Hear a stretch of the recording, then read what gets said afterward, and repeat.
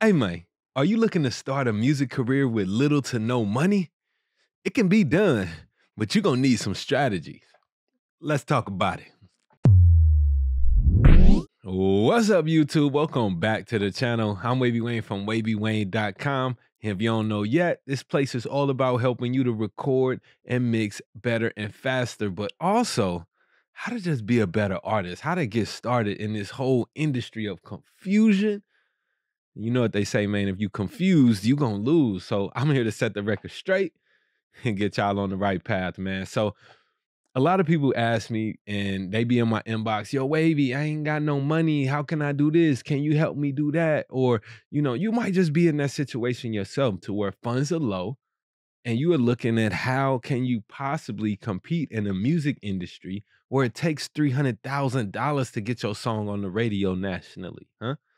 How can you compete in the music industry where it might cost you 500 bucks to record a song? How can you compete if you don't have that money? Well, I got a few ideas that I've been working on that I know for a fact will help you to get started. So let's go ahead and jump right into my first tip for how to actually get started with your music career without no money. I know y'all gonna say, Wavy, that's a little counterproductive. This one don't make sense, but I have to say it. The first thing is get some money.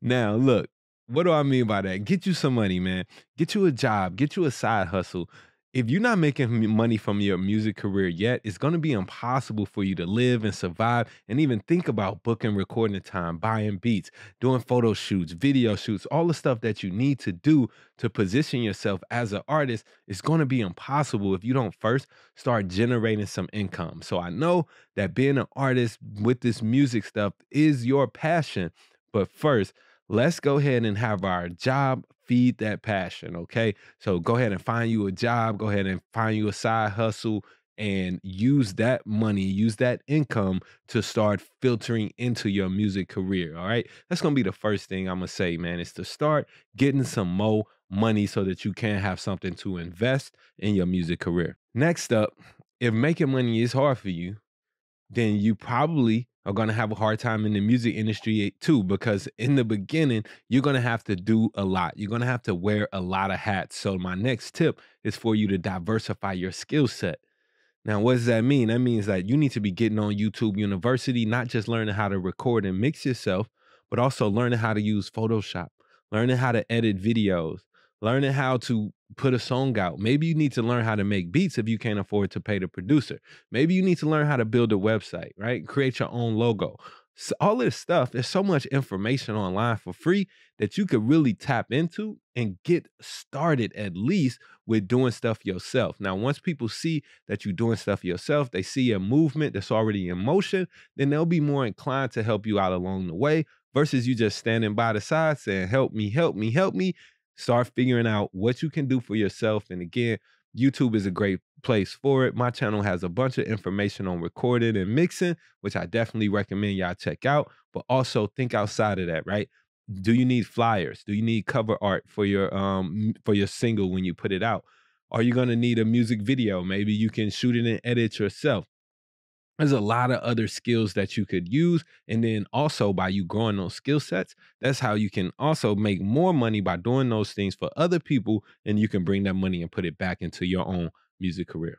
Obviously, you can learn how to record and mix yourself, but I know that that's going to be hard for a lot of artists. And I don't always recommend that for artists. Yes, the recording aspect of it, you should have some type of recording setup so that you can quickly get your ideas out but as far as mixing and stuff, I don't want you as an artist to get caught up with uh, the confusion and technical side. So if you're more in the creative side of things, then you might want to stay into that zone, songwriting, coming up with melodies, things like that, and collaborate. Hmm, which brings me to my next topic collaborate with engineers and producers who are also on your same level a lot of times we can't find people to collaborate with because we keep reaching up instead of reaching to the side.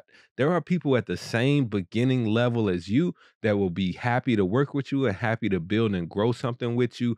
But when you try to reach out to somebody who's like 10 times past where you are, of course they have no benefit to gain from working with you. You can't really offer them anything. And when you are trying to come into a collaboration situation, think about what it is that you can offer that person that you're collaborating with.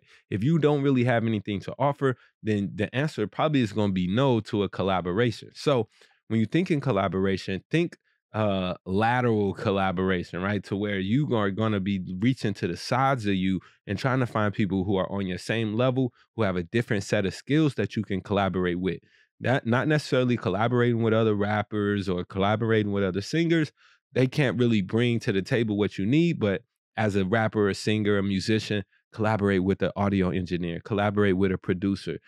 That is how you can actually uh, start to build up, build a name for yourself, and grow with somebody else. Another tip that I'll say is to take advantage of the free beats that's online too. A lot of producers will give you free beats that you can download from right offline. Some of them you can just download on YouTube, and they have a bunch of other websites where there are a bunch of free beats and even beat packs. I know Wishmaster, for example, he be dropping beat packs all the time. And you catch one of his deals, like you can get like 20 beats for like 50 bucks or something like that.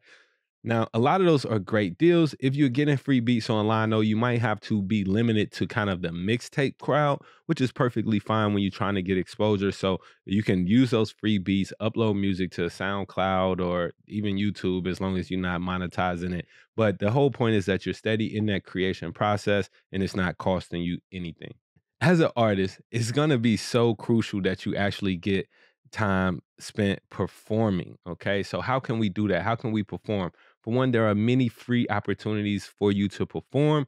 Um, for one, you can put on your own show. That might cost you a little bit, but maybe you can work out something with the venue to where you don't have to pay up front. Maybe you can split the ticket sales with them or split the revenue that comes in that night with the venue so that you don't have to come out of pocket beforehand. That could be a great way to make money as an artist. But one thing that y'all seem to be uh, afraid of is busking.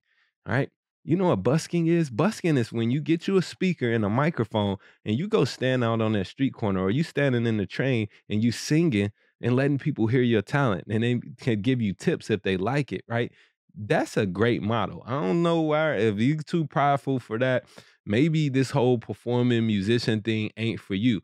But get outside, let people hear you, pop up places, and don't just be popping up with your CD if you got a CD to sell or music to sell, like I, I don't know if people still do this, but cats used to be standing outside the gas station, like, yo, you want to buy my mixtape? Like, nah, bro. But if you standing outside that gas station and you got your little speaker there and a microphone and you spitting some bars and then you just happen to have a mixtape there, I might buy from you then if I'm attracted to the product that I see, right? Because it's called um, marketing and sales, right? It goes hand in hand. You need to first market yourself by doing that performance right there, and then you can sell something. You just can't bust into my personal space asking me to sit, buy something, I ain't, I ain't with that. So market yourself by busking, getting out on the streets and performing, and also open mics. There's a lot of open mics, a lot of free chances for you to get on stage. Um, so take advantage of those when you see those opportunities happening. Another one that I, I see as a studio owner is artists collaborating on studio time, right? So if you got a two hour minimum, you got to book two hours, whatever. Maybe you collaborate with somebody and they get one hour, you get one hour, or you spend time collaborating with other artists and jumping on their songs. That way, whatever uh, studio they're at, you get to record into their song and you're getting your music out there. You're getting your voice out there by collaborating and kind of piggybacking off other artists who may have more money or more um, connections than you at that point in time. It's perfectly fine as long as there's some type of mutual benefit. You bringing some fire sauce to the song. I don't think anybody gonna be mad at that. All right. So think about that too, collaborating with artists and you know, seeing if y'all can go have some studio time. One last tip that I'd give y'all is to one last tip that I'll give y'all is to present yourself as an artist online. This is going to open you up for a lot of opportunities.